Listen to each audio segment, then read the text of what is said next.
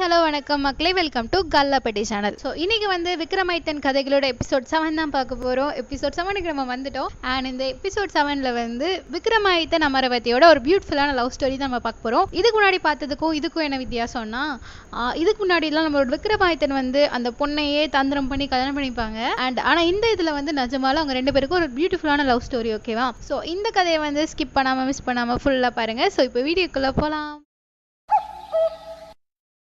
Okay மக்களே நம்ம வந்து போன எபிசோடில் எதோட பார்த்து முடிச்சோம்னா நம்மளோட போஜராஜன் வந்து விக்ரமாதித்தன் சிம்மாசனத்தில் ஆறாவது படிக்கட்டில் கால் எடுத்து வைக்கிறாரு. ஸோ அவர் வந்து வைக்கும்போது ஆறாவது படிக்கட்டில் இருக்கிற ஆறாவது பதுமையாகிய சிருங்காரவல்லி பதுமையை வந்து போஜராஜனை நிறுத்தி எங்களோட விக்ரமாதித்தன் மகாராஜா வந்து வெறும் சாதுரிசாலி மட்டும் கிடையாது அவர் வந்து பெண்களோட சைகைகளையும் நல்லா உணர்ந்து செயல்படக்கூடியவர். அப்படிப்பட்டவர் உட்கார்ந்த சிம்மாசனத்தில் உங்களுக்கு உட்கார தகுதி இருக்கா? அப்படின்னு வந்து கேட்குறாங்க கேட்டோன்னா நம்மளோட போஜராஜன் வந்து அந்த விக்ரம் விக்ரமாதித்தனோட கதையை மட்டும் கேட்குறாங்க ஸோ கேட்டோன்னே நம்மளோட பதுமை வந்து கதை சொல்ல ஆரம்பிக்குது.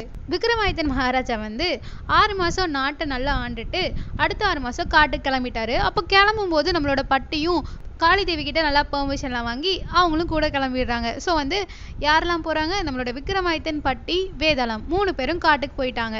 ஸோ காட்டில் நடந்து போயிட்டே இருக்கும்போது டயர்ட் ஆயிடுறாங்க. நைட்டும் ஆயிடுது ஸோ அவங்க வந்து படுத்து தூங்கி ரெஸ்ட் எடுக்கிறாங்க. ஸோ காலையில் வந்து எந்திரிச்சு பார்க்கும்போது ஒரு அழகான சோலைவனம் அவங்க கண்ணுக்கு தெரியுது. அந்த சோலைவனத்தை தாண்டி ஒரு அழகான நகரமும் இருக்கு.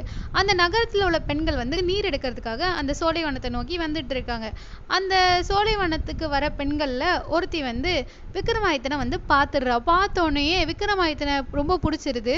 ஸோ விக்ரமாதித்தனை பார்த்துட்டு ஒரு அழகான மல்லிகை மலரை பறிச்சுட்டு அதை வந்து அவள் மேலே வச்சு கெட்டி பிடிச்சிட்டு அதுக்கப்புறம் அந்த மலரை தூக்கி மேலே எரிஞ்சிடுறா.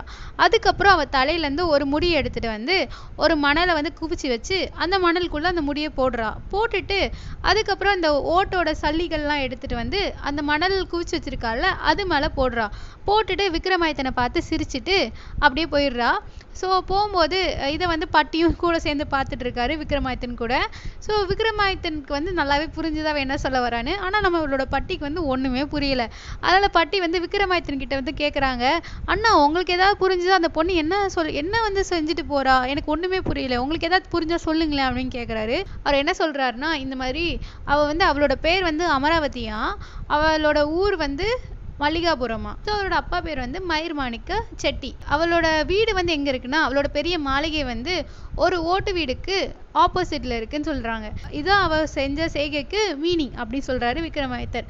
உடனே இதை வந்து கேட்டுட்டு பட்டி வந்து அண்ணா உங்களுக்கு இந்த பொண்ணை பிடிச்சிருந்தா சொல்லுங்க. கெட்டி வச்சிருவோம் அப்படின்னு சொல்கிறாங்க உடனே விக்ரமாதித்தன் வந்து அவருக்கும் அந்த பொண்ணை ரொம்ப பிடிச்சிருந்துச்சு பார்த்தோன்னே ஸோ அவரோட ஆசையும் பட்டிக்கிட்ட சொல்கிறாங்க ஸோ நம்மளோட வேதாளம் பட்டி அப்புறம் வந்து விக்ரமாதித்தன் மூணு பேரும் பிளான் பண்ணுறாங்க சரி அந்த பொண்ணு யார் என்னன்னு விசாரித்து கல்யாணம் பண்ணி வச்சிடலாம் அப்படின்னு சொல்லிட்டு பிளான் பண்ணுறாங்க உடனே பட்டியும் விக்ரமாதித்தனும் அவங்களோட உடைகளை கழட்டி வேதாளத்துக்கிட்ட கொடுத்துட்டு அவங்க ஒரு பிராமணன் மாதிரி ட்ரெஸ் பண்ணிட்டு போயிடுறாங்க. மல்லிகாபுரம் போயிட்டு அங்கே வந்து மயிர் மாணிக்கம் செட்டியார் அவங்களோட கடையை தேடி கண்டுபிடிக்கிறாங்க. கண்டுபிடிச்சி அந்த கடைக்கு போயிட்டு இந்த மாதிரி நாங்கள் வந்து ஏழை பிராமணர்கள் நாங்கள் ஒரு கோயில் யாத்திரைக்காக நடந்து வந்துட்டு இருந்தோம். அப்போ ஒரு பெரிய கலவரத்தில் வந்து எங்களோட உடைமைகள் எல்லாத்தையும் நாங்கள் பறி கொடுத்துட்டோம். அதனால உங்களால் முடிஞ்ச ஒரு அரிசி பருப்பாட்டி கொடுங்க. எங்களுக்கு சாப்பிட்றது கூட எதுவும் இல்லை. அதை கொடுத்தீங்கன்னா உதவியா இருக்கும் அப்படின்னு சொல்லிட்டு கேட்குறாங்க கேட்டோன்னா நம்ம செட்டியாரும் ரொம்ப பாவப்பட்டு அரிசி பருப்பை கொடுக்குறேன். கொஞ்சம் வெயிட் பண்ணுங்கன்னு சொல்றாங்க. அப்போ பார்த்து நம்மளோட அமராவதி வந்துடுறா. அதாவது செட்டியாரோட பொண்ணு வந்துடுறா. அமராவதிக்கு வந்து இவங்க ரெண்டு பேரையும் பார்த்தோன்னே அடையாளம் கண்டுபிடிச்சிட்டா. அதுக்கப்புறம் என்னன்னா இவங்களோட நோக்கத்தை வந்து அவ தெரிஞ்சுக்கிட்டா. அவங்க வந்து பேசாமலே அவ பார்த்தோன்னே புரிஞ்சுக்கிட்டா.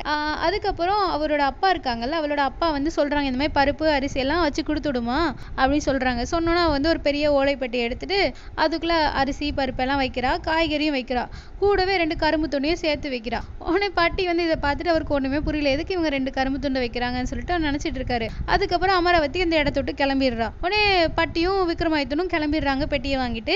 அப்போ வந்து பட்டி வந்து கேட்குறாங்க விக்ரமாதித்தன் கிட்ட. எதுக்கு இவங்க ரெண்டு கரும்பு துண்டு வச்சாங்க? அதுக்கு என்ன மீனிங் அப்படின்னு கேட்கும்போது விக்ரமாதித்தன் சொல்றாரு சொல்றாரு இந்த அமராவதியோட தோழி பேர் என்னன்னா கரும்பிக்கினியால் அவளோட வீட்டுக்கு போய் தங்க சொல்றா. அதை தான் வந்து மறைமுகமா சொல்றா. அப்படி சொல்லிட்டு விக்ரமாதித்தனும் பட்டியும் கரும்பினியால் வீட்டுக்கு வந்து கிளம்பி போறாங்க. ஸோ போகிறதுக்கு முன்னாடி நம்மளோட அமராவதி வந்து அவளோட தோழி கிட்ட வந்து சொல்லிட்டா. இந்த மாதிரி ரெண்டு பேர் வருவாங்க அவங்கள தங்க வச்சுக்கோ அப்படி சொல்லிட்டு சொல்லிடுறா. ஆஹ் அவளோட அவளோட ஆசையையும் சொல்லிடுறா அவளோட தோழிக்கிட்ட ஸோ இவங்க விக்ரமாயத்தனும் பட்டியும் போகிறதுக்கு முன்னாடி அவங்க வந்து வெளியே நின்று வாசல் நின்று வரவேற்று உள்ளே கூப்பிட்டுறா அந்த ரெண்டு பேரையும். அப்போ அவங்களுக்கு தேவையான சாப்பாடு எல்லாமே கொடுக்குறா. விக்ரமாயத்தனுக்கும் பட்டியும் நல்லா உபசரிக்கிறா. அப்போ விக்ரமாயத்தன் வந்து என்ன கேட்குறாருன்னா இந்த மாதிரி அமராவதியை பற்றி கொஞ்சம் சொல்ல முடியுமா அப்படின்னு கேட்கும்போது அவர் என்ன சொல்கிறான்னா அமராவதிக்கும் அவங்களோட அத்தை பையனுக்கும் ஏற்கனவே கல்யாணம் ஆயிடுச்சு சின்ன வயசுலயே குழந்தை திருமணம் ஆயிடுச்சு.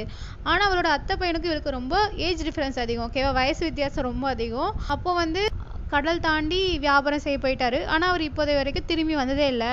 இவ எப்பவுமே தனியாக தான் இருக்கா அப்படின்னு சொல்கிறாங்க சொன்னோன்னே விக்ரமாதித்தனுக்கு வந்து ரொம்ப வருத்தப்படுறாரு. அமரவதியை அமராவதியை பார்த்து. இதுக்கப்புறம் அவர் மனசில் நினைக்கிறாங்கன்னா கண்டிப்பாக இவளை வந்து கல்யாணம் பண்ணிட்டு ரொம்ப சந்தோஷமாக வச்சுக்கணும் அப்படின்னு சொல்லிட்டு விக்ரமாதித்தன் மனசில் நினைக்கிறாரு. அதுக்கப்புறம் வந்து ஒரு பிளானும் தீட்டுறாங்க. எப்படி வந்து அமராவதியோட வீட்டுக்குள்ளே போகிறதுக்குன்னு சொல்லி பிளான் தீட்டுறாங்க. ஸோ அடுத்த நாள் வந்து நம்மளோட பட்டியும் விக்ரமாதித்தனும் கிளம்பி போறாங்க. அது எப்படி கிளம்பி போறாங்கன்னா விக்ரமாதித்தன் வந்து அழகான ஒரு பெண் மாதிரி வேஷம் போட்டு போறாங்க. அவர் வந்து ரொம்ப அழகா இருக்காரு. அண்ட் நெக்ஸ்ட் வந்து நம்மளோட பட்டி வந்து அவங்களோட அப்பா மாதிரி கெட்டப் பண்ணிட்டு போறாங்க.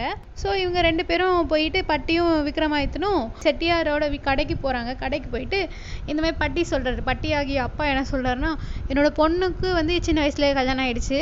அவங்களோட மாப்பிள்ளை வந்து கடல் பயணம் மேற்கொண்டு போயிட்டாரு. ஆனா அந்த மாப்பிள்ளை வந்து திரும்பி வரவே இல்லை அதனால நான் அந்த பொண்ணை வந்து யார் வீட்லயாட்டி சேஃபாக விட்டுட்டு மாப்பிள்ளைய வந்து தேட போகிறேன் அப்படின்னு சொல்கிறாங்க அதுக்காக எனக்கு கொஞ்சம் உதவி செய்ய முடியுமா? ஏன்னா என்னோட பொண்ணை வந்து கொஞ்ச நாளைக்கு உங்கள் வீட்டில் தங்க வச்சுக்கோங்க. அதுக்கப்புறம் என்னோட மருமகனை கண்டுபிடிச்சிட்டு நான் வந்து என் பொண்ணை வந்து திருப்பி கூப்பிட்டுக்கிறேன் அப்படின்னு சொல்கிறாங்க சொன்னோன்னே செட்டியார் நினைப்பாரு. நம்மளோட நிலைமையும் இந்த அப்பாவோட நிலமையும் ஒரே மாதிரி தான் இருக்குது அதனால் நம்ம கண்டிப்பாக உதவி செய்யணும்னு சொல்லிட்டு நம்மளோட விக்ரமாயத்தனை வந்து கூப்பிட்டுக்கிறாங்க. ஸோ விக்ரமாதித்தனை வந்து அமராவதி கூட தங்க வைக்கிறாங்க. உடனே விக்ரமாதித்தன் அவன் வந்து பார்த்தோன்னே கண்டுபிடிச்சிடுறா. என்னதான் தெரியல அவளுக்கு பார்த்தோன்னே இது விக்ரமாதித்தன் அடையாளம் கண்டுபிடிச்சிடுறா. ஆனால் விக்ரமாதித்தன் வந்து ரொம்ப அழகாக இருந்தார். இருந்தாலும் அவன் கண்டுபிடிச்சிடுறா. ஏன்னா சில டைம் வந்து பெண்களே வர பார்த்து ரொம்ப வெக்கப்படுறா. அதாவது ஒரு பெண்ணாக நினச்சி வெக்கப்படுற மாதிரி ரொம்ப அழகாக இருப்பார்.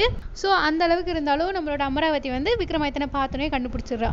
இவங்க அப்பாவுக்கு தெரியவே வரவே இல்லை. ஒரு சந்தைக்கு கூட வர வந்தது கிடையாது யாருக்கும் இவர் மேலே. ஸோ விக்ரமாதித்தனும் நம்மளோட அமராவதியும் ரொம்ப சந்தோஷமா இருக்காங்க. அப்போ விக்ரமாதித்தன் வந்து காலையில வேலையில எல்லாமே ஒரு பெண் மாதிரி வேஷம் போட்டிருப்பாரு. நைட் ஆனா அவர் வந்து ஆணா மாறிடுவாரு. ஸோ அப்படி போயிட்டே இருக்கும்போது அவங்க ரொம்ப சந்தோஷமாக நாள் வந்து போயிட்டே இருந்துச்சு. அப்படி ஒரு வாட்டி என்ன ஆச்சுன்னா இந்த மல்லிகாபுரத்தோட ராஜா இருக்கார்ல அரசர் வந்து அமராவதியை பற்றி கேள்விப்படுறாங்க. அந்த பொண்ணு வந்து ரொம்ப அழகான பொண்ணு இந்த மாதிரி அழகான பொண்ணு எங்கேயும் பார்க்க முடியாது அப்படி சொல்லிட்டு தெரிய வருது. உடனே அந்த மன்னர் எல்லாமே ஒரு பரிவாரம் எல்லாத்தையும் கூட்டு போயிட்டு பொண்ணு கேட்க போகிறாரு நம்ம செட்டியார் கிட்ட. ஸோ செட்டியாரும் அதுக்கு மறுப்பு தெரிவிச்சிருக்காரு. என்னோட பொண்ணெல்லாம் உங்களுக்கு கல்யாணம் பண்ணி தர முடியாது சொல்லிட்டு அனுப்பி வச்சிடுறாரு. அதனால் அந்த ராஜா வந்து செம காண்டாகி எனக்கு கிடைக்காத பொண்ணு வந்து வேற யாருக்குமே கிடைக்க கூடாது அதனால அவளை வந்து நல்லா அவமானப்படுத்தி விட்டுறணும். அவள் வாழ்க்கைக்கு எடுத்துடணும் சொல்லிட்டு மனசுல நினைச்சிட்டு இருப்பாரு. கங்கனை கட்டிட்டு திரிவார் ஓகேவா ஃப்ராங்காக சொல்லணும்னா அப்படி இருப்பாரு. அதனால என்ன பண்றாரு? நிறைய பேரை வந்து அவளை ஸ்பை பண்ண வைக்கிறாங்க. அதாவது நிறைய பேரை வந்து அவளை வேவு பார்க்க வைக்கிறாங்க. ஏன்னா அவள் ஏதாச்சும் தப்பு பண்ணனா ஏதாச்சும் கள்ள தொடர்பு ஏதாவது வச்சிருந்தானா ஆஹ் வெளியே கொண்டு வந்து அவள் வாழ்க்கையை சீரழிச்சிடணும் அப்படின்னு நினைச்சிட்டு இருப்பாரு. அப்போ என்னன்னு நிறைய பேரை வந்து ஸ்பை பண்ணியும் விட்டுருவாரு. ஸோ ஒருத்தி வந்து வேவு பார்க்குற வந்து கண்டுபிடிச்சிருவா. இந்த மாதிரி நைட் ஆனால் ஒரு ஆம்பளை குரல் கேட்குது அப்போ கண்டிப்பாக அவள் வந்து கள்ள தொடர்பு வச்சிருக்கா அப்படின்னு சொல்லிட்டு ராஜா கிட்ட போட்டு கொடுத்துட்றா. இந்த மாதிரி அந்த பொண்ணு வேற யார் கூட அஃபேர் வச்சிருக்கா அப்படின்னு சொல்லிட்டு போட்டு கொடுத்துட்றா. ஸோ ராஜாவும் அதை தெரிஞ்சுட்டு செட்டியார் கிட்ட வந்து சொல்கிறாங்க இந்த மாதிரி உங்கள் பொண்ணு வந்து வேற ஒருத்தங்க கிட்ட அஃபேர் வச்சிருக்கா கள்ள தொடர்பு வச்சிருக்கா அப்படி சொல்கிறாரு ஆனால் செட்டியார் வந்து பாப்பாரு ஒரு பொண்ணை வந்து ஆனால் அவருக்கு வந்து சந்தேகப்படுற மாதிரி எதுவுமே தெரியாது. அதனால அவர் வந்து பெருசாக ஈடுபட மாட்டார் அதில். அப்போ என்ன ஆகும்? ஒரு நாள் வந்து விக்ரமாதித்தனும் அமராவதியும் கட்டில் படுத்து தூங்கிட்டு இருப்பாங்க வெளியே. நல்லா சந்தோஷமாக பேசிட்டு தூங்கிடுவாங்க. அப்போ வந்து விக்ரமாதித்தர் பெண்ணாலாம் இல்லை ஓகேவா? அப்போ ஒருத்தி வந்து பார்த்துட்டு போய் ராஜா கிட்ட போட்டு கொடுத்துருவா. ஸோ என்ன பண்ணுவாங்க? கட்டிலோட தூக்கிட்டு வந்து காளி தேவி வந்து அதை போட்டு அடைச்சிருவாங்க. அப்போ என்ன ஆகுது? நம்மளோட பட்டியும் கருமினியாலும் வந்து நல்லா சந்தோஷமாக பேசிகிட்டு இருக்காங்க. ஏன்னா அவங்க ரெண்டு பேரும் ரொம்ப லவ் பண்ணுறாங்க ஓகேவா நல்லா சந்தோஷமாக பேசிகிட்டு இருக்காங்க. அப்போ வந்து ஒரு பள்ளி வந்து சத்தம் போடுது. அப்போ அந்த சத்தத்தில் அவர் மூலமாக அவருக்கு என்ன புரிய வருதுன்னா இந்த மாதிரி விக்ரமாதித்தன் வந்து ஆபத்தில் இருக்காரு காளிதேவி கோயிலில் இருக்காங்க அப்படின்னு சொல்லிட்டு தெரிய வருது. நம்மளோட பட்டிக்கு வந்து ஜீவராசிகள் பேசுகிற எல்லா மொழியும் நல்லா தெரியும் புரியவும் செய்யும். அதனால் பட்டிக்கு தெரிஞ்சோடனே நம்மளோட கருமினியால் கூட்டிட்டு பட்டியும் கிளம்பிடுறாரு காளிதேவி கோயிலுக்கு. அப்போ வந்து ஒரு ஒரு காவி உடைய வந்து ரெண்டு பேரும் அணிஞ்சிட்டு போயிடுறாங்க. வாசல்ல நிக்கிற காவலர்கள் கிட்ட அரசி வந்து ஒரு ரகசிய பூஜை செய்ய சொல்லியிருக்காங்கன்னு சொல்லிட்டு உள்ள போக ட்ரை பண்ணுவாங்க. ஆனா ஃபர்ஸ்ட் வந்து காவலர்கள் விட மாட்டாங்க. இருந்தாலும் எதுக்குடா பொல்லாப்பு பெரிய இடத்துல அப்படின்னு சொல்லிட்டு அவங்க ரெண்டு பேரையும் உள்ள விட்டுருவாங்க. அப்போ உள்ள போய் பார்த்தோன்னா விக்ரமாயத்தனும் அமராவதியும் நல்லா தூங்கிட்டு இருப்பாங்க. இருப்பாங்க கட்டில் மேலே படுத்து. ஸோ அவங்க ரெண்டு பேரையும் அடித்து எழுப்பி அவங்கள வந்து காவி உடைய மாற்ற வச்சு அவங்க ரெண்டு பேரையும் நைஸாக அனுப்பி வச்சிருவாங்க வெளியே. கருமினியாலும் நம்மளோட பட்டியும் கோயிலுக்குள்ளே இருப்பாங்க. ஸோ இந்த மன்னன் என்ன பண்ணுறான் சைடு கேப்பில் எல்லா ஊர் மக்களையும் திரட்டி மாணிக்க செட்டியாரையும் கூப்பிட்டு வருவார். இந்த மாதிரி உங்கள் பொண்ணை வந்து நான் கோயிலில் அடைச்சி வச்சிருக்கேன். வந்து பாருங்க அவனோட லவர் கூட அடைச்சி வச்சிருக்கேன். வந்து பாருங்கன்னு சொல்லிட்டு கூப்பிட்டு வருவான். அப்போ ஊர் மக்கள் எல்லாருமே திரண்டு வந்து அந்த கோயில் டோர் திறப்பாங்க. திறந்தனா உள்ளே யார் இருப்பாங்க. நம்மளோட அவராவதியாக இருப்பாங்க. அப்போ வந்து உள்ள பட்டியும் கரும்பினியாலும் இருப்பாங்க. ஸோ அதை பார்த்தோன்னே அவ அவங்க ரெண்டு பேருக்குமே கல்யாணம் பண்ணி வச்சிருவாங்க அந்த கோயில்லையே. ஸோ பட்டியும் ரொம்ப சந்தோஷப்பட்டு ஏன்னா லவ் பண்ண பொண்ணையும் கல்யாணம் பண்ணுறதுனால அவர் ரொம்ப சந்தோஷப்பட்டு துள்ளி குதிச்சிட்டு இருப்பாரு. ஆனால் நம்மளோட ராஜாக்கு வந்து மூக்கறுப்பட்டு இருப்பாரு. அதுக்கப்புறம் எப்பவும் போல விக்ரமாதித்தனும் அமராவதியும் எப்பவும் போல ரொம்ப சந்தோஷமா இருந்துட்டே இருக்காங்க. ஒரு நாள் என்ன ஆகுது? அமராவதியோட முதல் புருஷன் இருக்கான்ல அந்த கடல் பயணம் மேற்கொண்ட அந்த சின்ன வயசுல கல்யாணம் ஆன புருஷன் வந்து வந்துடுறான் திரும்பி வந்துடுறான். ஸோ வந்துட்டு என்ன பண்றான்? ஆஹ் விக்ரமாதித்தன் இருக்காங்கல்ல பெண் வேடத்தில் உள்ள விக்ரமாதித்தன் கிட்ட தப்பு தப்பா பழக முயற்சி பண்றான் ஓகேவா விக்ரமாதித்தனும் ஒரு ஒரு வாட்டி எச்சரிச்சு பார்ப்பாரு ஆனால் அவன் கேட்டபாடு இல்லை. அப்போ ஒரு நாள் என்னாச்சு? அவன் வந்து எல்லம் மீற ட்ரை பண்ணான். அப்போ வந்து விக்ரமாதித்தன் கோவத்துல அவன் வந்து கிணத்துல தள்ளி விட்டுருவாரு. ஸோ கிணத்துல தள்ளி விட்டதுல அவன் செத்து போயிடுறான். உடனே நம்மளோட அமராவதி கிட்டேயும் விக்ரமாதித்தன் சொல்றாரு நடந்த எல்லாத்தையும் சொல்றாங்க. தப்பா நடந்துக்கிட்டதையும் சொல்றாங்க. ஆஹ் சொன்னோட அமராவதி வந்து ஓகே ஒன்றும் பிரச்சனை இல்லை அப்படின்னு சொல்லிட்டு சமாதானப்படுத்துறாங்க. உடனே விக்ரமாதித்தன் வந்து சொல்றாரு இந்த மாதிரி நான் ஒரு நாள் கண்டிப்பாக உனக்காக நான் திரும்பி வருவேன். எனக்காக காத்துரு அப்படின்னு சொல்கிறாங்க உடனே அமராவதியும் சரி சொல்லிட்டு விக்ரமாயத்தனை அனுப்பிச்சி அனுப்பிச்சு வச்சிடுறாங்க. ஸோ என்ன ஊரில் என்ன பேச ஆரம்பிச்சிட்டாங்கன்னா அந்த பெண் வேடத்தில் உள்ள விக்ரமாயத்தனும் அமராவதியோட முதல் புருஷன் இருக்காங்களா ரெண்டு பேரும் ஓடி போயிட்டாங்க. அப்படின்னு சொல்லிட்டு ஊரில் ரூமர் கிளம்புது ஓகேவா வதந்தி கிளம்புது. அப்புறம் என்ன ஆகுது? அடுத்த நாள் வந்து நம்மளோட செட்டியார் கிட்ட வந்து அப்பா வேஷத்தில் உள்ள நம்மளோட பட்டியும் விக்ரமாதித்தனும் வராங்க. வந்து இந்த மாதிரி என்னோட பொண்ணு இங்கே என்ன பொண்ணை அனுப்பிச்சு வைங்க. இவங்க மாப்பிள்ளையை வந்து நான் கண்டுபிடிச்சிட்டேன் அப்படின்னு சொல்லிட்டு கேக்குறாங்க. செட்டியாருக்கு வந்து ஒண்ணும் புரியல. உங்க பொண்ணு போயிட்டாலே திரும்பி. உங்ககிட்ட வரலையா? அப்படின்னு சொல்லிட்டு கேட்குறாங்க உடனே பட்டியும் அதுக்கு சளைக்காம இல்லை இல்ல எங்க பொண்ணு நான் திருப்பி கூட்டெல்லாம் வரலையே. உங்ககிட்ட தானே நம்பி அனுப்புகிறேன் என் பொண்ணு எங்கன்னு கேக்குறாங்க. ஸோ மாற்றி மாற்றி பேசிக்கிறாங்க. ஒன்றும் புரிய மாட்டேங்குது. ஸோ ஒரு கட்டத்தில் அவங்க ரெண்டு பேரும் ரொம்ப பயங்கரமாக சண்டையும் போட ஆரம்பிச்சிடுறாங்க. ஸோ சண்டை போட்டோன்னே அந்த ஊர் மக்கள்லாம் வந்து இவங்க ரெண்டு பேருக்கும் சமாதானம் பேசி வைக்கிறாங்க. பேசி வச்சு சரி அப்படி சொல்லி விட்டுறாங்க. அதுக்கப்புறம் நம்மளோட விக்ரமாதித்தன் வந்து அவரோட எண்ணத்தை வந்து சொல்கிறாங்க இந்த மாதிரி அமராவதியை வந்து கல்யாணம் பண்ணிக்க எனக்கு விருப்பம் உங்களுக்கு விருப்பமா அப்படின்னு கேட்குறாங்க உடனே அதுக்கும் அவர் வந்து ஒத்துக்கிறாரு. ஏன்னா விக்ரமாதித்தனை பார்த்தோன்னே அவருக்கு ரொம்ப பிடிச்சிருச்சு. அதனால ஓகேன்னு சொல்லிடுறாரு.